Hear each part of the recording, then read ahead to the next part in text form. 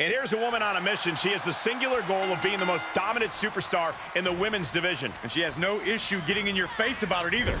She doesn't care who she has to run over. There is no second place for her in any competition. Yeah, but she's standing across the way from someone who redefines the word intensity. This isn't just a competition to her. This is a must-win situation, and she won't even consider any other outcome. That's not exactly the type of person you want to get on the wrong side of, which she is. Oh, stop after stop after stop. Jeez. Reversal. Can they go on the attack? Saw that coming.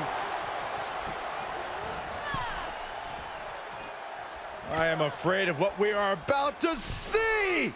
Oh, on the apron. Oh, and she turns it around.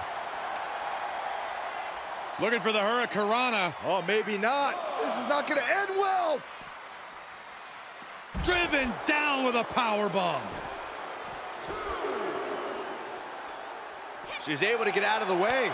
Sequence of reversals here. Both superstars clearly studied game tape ahead of time. My goodness. Came down like a hammer on that arm.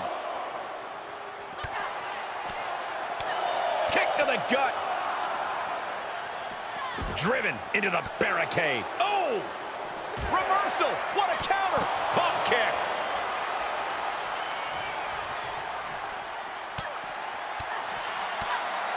She's in danger of a count out here. I don't know if she cares. She's in the ring now.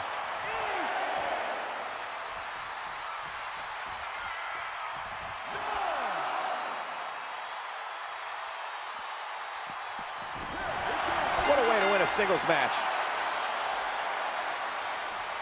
Let's take another look at these ladies going toe-to-toe. -to -toe. Here is your winner, Dani Lazzara.